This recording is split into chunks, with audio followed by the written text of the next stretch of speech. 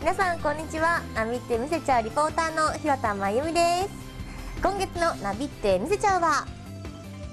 今が旬。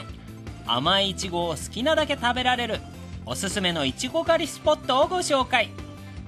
1000円で本格的な寿司ランチがいただける寿司屋。女性オーナーが作るオリジナルドリンクがおすすめのカフェ。チョコレートやケーキなど夢が詰まったスイーツが揃うお店。今月は女子なら誰もが気になるお店をたっぷりとご紹介します。プレゼントはこちらです。皆さんぜひ応募してくださいね。